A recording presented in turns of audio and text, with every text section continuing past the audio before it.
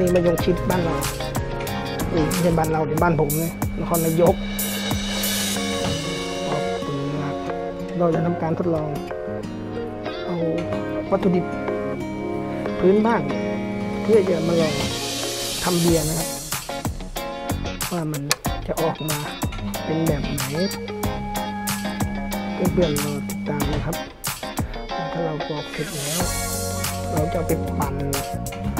เพื่อจะเอาเนื้อมันต้มน้ำกับบด